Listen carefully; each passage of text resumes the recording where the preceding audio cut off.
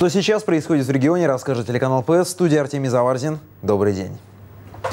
В Санкт-Петербурге сегодня второй день Международного экономического форума. Накануне наш регион подписал соглашение с рядом крупных компаний и организаций, в том числе «Газпромбанком» и промышленным концерном «Омия Урал». Кроме того, на полях делового саммита было решено, что в Поморье построят отель международного класса. Соглашение об этом подписали Игорь Орлов и учредитель компании «Промснаб» Ильдар Неверов. С утра губернаторы российских регионов встретились за деловым завтраком. Участие приняли министры правительства страны, представители бизнеса, руководители крупных корпораций. Обсуждался широкий спектр вопросов, касающихся топливной энергетики, добычи природных ресурсов, привлечения инвесторов для работы в особых климатических условиях, в том числе и в Арктике. Разговор продолжится уже на более высоком уровне во время пленарного заседания с участием президента страны Владимира Путина, который выступит сегодня э, в на Международном экономическом форуме. Все подробности в 16 часов на канале ПС. К другим темам. А, власти на местах будут отчитываться перед Министерством строительства России, как решается проблема обманутых дольщиков. Такое распоряжение подписал премьер-министр Дмитрий Медведев. Согласно документу, регионы до 1 августа должны составить планы работы в этом направлении. В нем должно указываться перечень проблемных объектов, количество обманутых дольщиков, список недобросовестных компаний. Как заявил на, на Петербургском экономическом форуме министр строительства России Михаил Мень, цитирую, региональным властям важно усилить контроль за сроками строительства домов, которые возводятся с привлечением средств граждан, а также за восстановлением прав обманутых дольщиков. Конец цитаты. Сейчас в целом по стране около 900 проблемных объектов долевого строительства. Что касается Архангельской области, то в нашем регионе их 5. Впрочем, пока одни северяне ждут, когда их дом наконец-то будет достроен, другие шуму строительной техники крайне не рады. Отставить свои права на солнечный свет пытаются жители дома номер 52 по проспекту Советских космонавтов. Напротив многоэтажки развернулась большая стройка, которая, по мнению жителей, портит вид из окон и закрывает солнце. Строительство началось год назад и велось поэтапно. С каждым новым этапом проблем становилось все больше. Также жители уверяют, что о публичных слушаниях, которые якобы проводил застройщик, их, их никто не известен известил. И вот сейчас началось строительство дополнительного корпуса. Его, кстати, нет нигде на планах. Застройщик нас дезинформировал. Это вот махина своей стеной выходит мне прямо на гостиную, закрывает полностью весь обзор. Высотные корпуса закрыли от нас полностью солнечный свет. Это недопустимо в условиях северного региона. Строительство объекта э, в указанном э, жилом доме начиналось э, сначала с одного подъезда. У нас было первое разрешение в связи с земельными участками, потом было второе разрешение и третье разрешение на этот трехэтажный дом. У нас все законно. На чьей на самом деле стороне закон и есть ли у жителей близлежащих домов шанс отстоять свои права? Большой репортаж смотрите в итоговой программе «Автограф дня». Эфир в 19 часов 20 минут на канале ТВ-центр.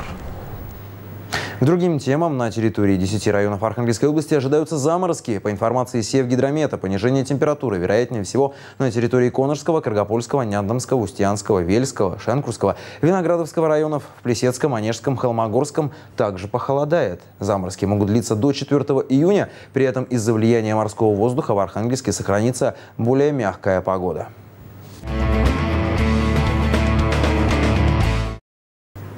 Большое празднование Дня Победы осталось позади, но, согласитесь, повод, чтобы рассказать о героях того времени, не нужен. Тем более, когда нашим ветеранам самим есть что рассказать потомкам.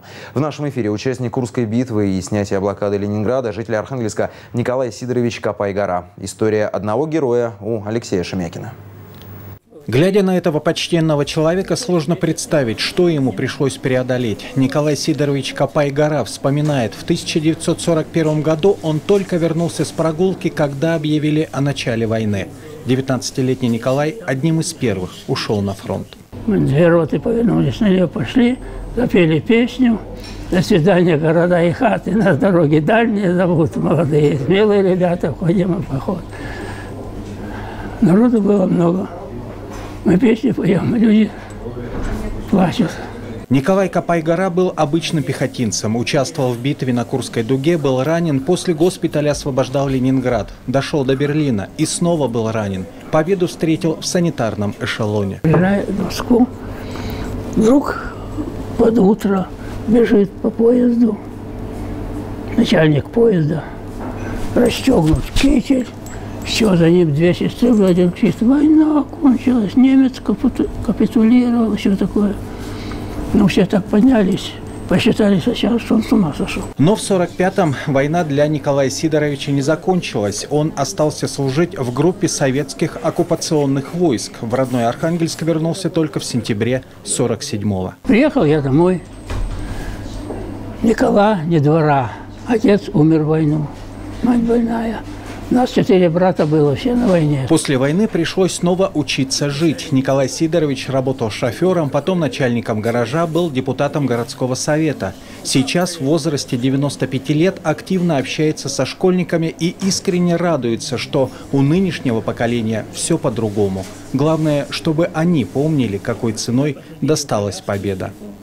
Алексей Шемякин, Екатерина Исакова, Ольга Красулина, Архангельское телевидение. Определены обладатели грантов губернатора. Ими стали 26 социально ориентированных некоммерческих организаций. Общий фонд конкурса составляет около 5 миллионов рублей. Финансовую поддержку получат 10 проектов в сфере культуры. Два из них будут реализованы в Котласе. Такой вот хороший подарок к вековому юбилею города, рассказывает Лариса Иванова. Четыре года подряд подарком Котловского театра драмы на день рождения города был театральный фестиваль для детей и юношества «Тарарам». Столетний юбилей сломал традицию. Впервые декорациями для театральных постановок станут улицы города.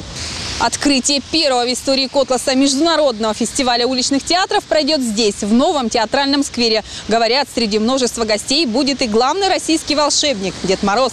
Театрализованные представления, цирковое шоу, игровые программы, мифические персонажи, ростовые и ходовые артисты. Ставка сделана на разнообразие жанров и звездные коллективы. Театр «Странствующие куклы» господина Пежо из Санкт-Петербурга – один из участников уличного шествия. Вместе с ними на контрасте в одной колонне – Академический театр имени Савина и Сыктывкара. Это будут совершенно сумасшедшие костюмы, сумасшедшие, ну, наверное, действия, сумасшедшие реквизиты. И вообще, что это будет происходить, я надеюсь, что это вызовет очень большой резонанс в Котласе. На проведение первого международного фестиваля уличных театров Котласский драматический выиграл губернаторский грант – 700 тысяч рублей. Большим счастьем для организаторов было получить согласие от итальянского театра «Ателье Кункион». Гости покажут мультидисциплинарный уличный спектакль с живой музыкой. Еще одним обладателем губернаторского гранта в сфере культуры стал совместный проект Котловской детской школы искусств и руководителя Архангельского государственного камерного оркестра Владимира Анофриева «Летняя музыкальная академия». Она пройдет в конце июня. Уже в пятый раз «Гамма» соберет в своих стенах музыкантов всех возрастов из разных уголков не только России, но и за границы. Если это учащиеся школы, то есть возможность э, поступить дальше в среднее или высшее учебное заведение по профилю. Если же это уже студенты работают с профессором, профессурой, то э, они накапливают опыт. Подобные проекты, как Летняя академия музыки в Котласе, направлены на возрождение интереса к классической музыке. Такая практика обмена опытом, семинаров и открытых концертов уже давно существует в Европе.